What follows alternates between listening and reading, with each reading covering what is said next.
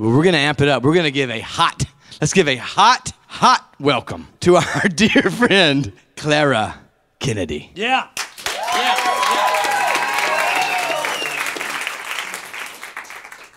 So Stuckey and I work in, in television. We've been pitching some shows recently. Yeah, we've had a couple, couple, couple little nibbles. It's been going well, yeah. Uh, We pitched one recently called Raising the Stakes. It's a reality competition show where each week a uh, baby cow or a calf is voted off and turned into veal.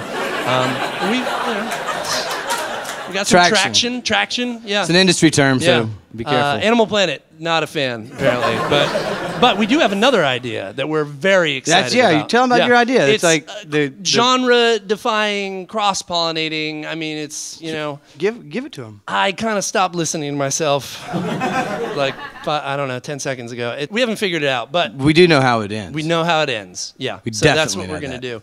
So uh, let's bring the lights down just a little bit. Cue the DVD if you would. This is multimedia, guys. Look up there.